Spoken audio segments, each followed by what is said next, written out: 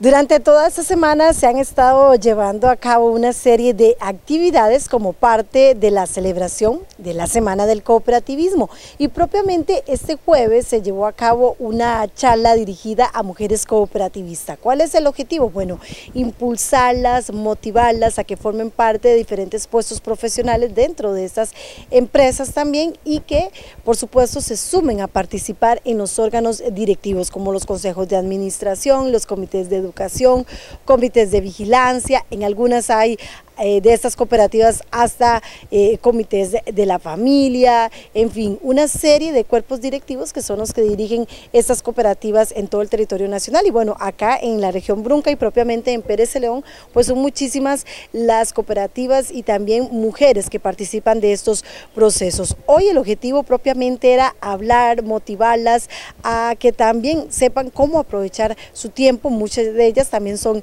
emprendedoras. Esta actividad fue organizada por la Unión de Cooperativas del Sur y precisamente nos hablan acá detalles de la organización. Estamos celebrando el Día Nacional de la Mujer Cooperativista, entonces dentro de nuestro cronograma de actividades, precisamente para celebrar la Semana Nacional del Cooperativismo, decidimos eh, realizar una actividad que fuera enfocada precisamente en la mujer cooperativista.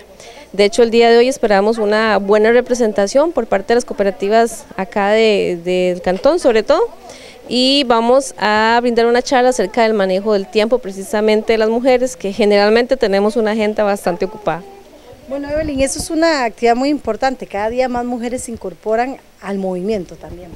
De hecho que sí, eh, tenemos cooperativas que dentro de su planilla de asociados, lo llamamos así, tal vez tienen hasta un 80% de participación de mujeres. Ahorita eh, parte también de los lineamientos o de, o de lo que se quiere lograr a través del cooperativismo es que más mujeres se integren, también en la parte gerencial y en la parte de participación dentro de los cuerpos directivos. Para este día se tuvo una charla a cargo de una psicóloga quien brindó consejos importantes a todas estas mujeres. Se trata de como dejar como la inquietud de que nosotras que las mujeres que tenemos tantas responsabilidades y tantas facetas, podamos administrar de la mejor manera el, tiempo, buscando crecer, agilizar, priorizar y organizar lo mejor posible todo lo que corresponde en este mundo donde también producimos, ¿verdad? Porque llevamos el sustento en muchos casos a la casa y la idea es que no sea un estrés, sino que se disfrute. Para mí, porque en lo personal yo soy empresaria, tengo mi propio negocio, soy psicóloga y toda la organización y aprender a delegar, a la gente no le gusta delegar. Cuando somos em, este, empresarias nos cuesta mucho delegar, nos cuesta mucho eh, pensar que otra persona puede hacer las cosas en nuestro lugar.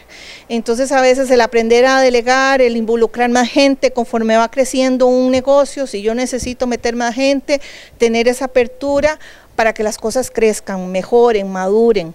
Eh, de eso se trata, ¿verdad? Y ser parte de órganos directivos, les mencionaba, o también hasta ocupar puestos eh, profesionales en gerencia, administrativos y demás es sumamente importante. Y nosotros eh, conocimos a dos mujeres, ellas nos hablan propiamente del ser parte del cooperativismo y también cómo como profesionales han llegado a ocupar puestos importantes. Para hoy tenemos un taller especial para nosotras, para aprender más eh, autogestionar nuestro tiempo y hacer más productivas, organizar este, más nuestras labores de día a día. A manera de, mi experiencia cooperativa, eh, yo inicié en Copealianza formando parte del comité de vigilancia, ahí estuve durante seis años. Actualmente este, formo parte del Consejo de Administración de Copealianza eh, como directora de de la cooperativa, ya tengo un año de estar acá en Cope Alianza y además tengo también un año de formar parte del Consejo de Administración de Uncosur. Soy la vicepresidente de este consejo y es muy valioso el aporte para la sociedad que hacemos las mujeres porque desde el principio de la historia hemos sabido el papel fundamental que tenemos en las familias, ¿verdad? Y poder trasladar estas, estas estas responsabilidades también a los ambientes de trabajo creo que es muy positivo. Primero para nosotras, porque también nos, nos ayuda a empoderarnos, a creérnosla, como decimos comúnmente, ¿verdad? Pero más que eso, también para las futuras generaciones. Cuando vemos eh, al principio de la semana cooperativa el montón de niñas que forman parte de las cooperativas escolares y que nosotras desde puestos gerenciales o de responsabilidad tenemos todavía eh, una, una tarea más fuerte, hacerles ver a ellas que se puede ser madre, ser esposa, ser profesional y ser una mujer. Desde chiquitita, desde, me acuerdo que desde muy chiquitita mi abuelo, que en paz descanse, nos había abierto una cuenta de ahorros a todos y que yo aprendí a usar computadora en los cursos de verano que daba Copialianza en ese momento, ¿verdad? Entonces el cooperativismo en mi vida también ha sido como ese sumar sumar, sumar y aprender.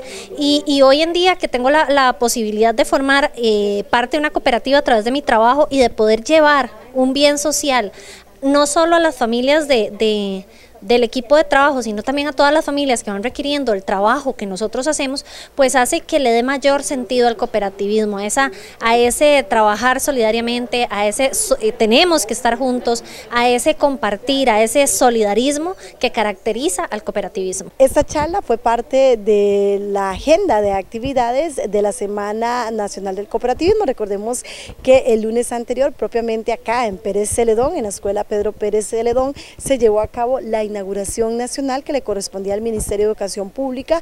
Ahí se contó con una amplia participación de todos los representantes de los cuerpos directivos y entes que pues eh, encabezan el movimiento a nivel nacional y durante todos estos días ha habido actividades en diferentes centros educativos y el cierre va a ser este sábado con una feria cooperativista que se va a estar concretando en el Parque La Ciudad de San Isidro de El General a partir de las 10 de la mañana. Habrá muchísimas actividades para los y también para todas las personas que quieran conocer un poco más de lo que es el movimiento cooperativista y también eh, informarse de lo que ofrecen las diferentes cooperativas que existen en el cantón.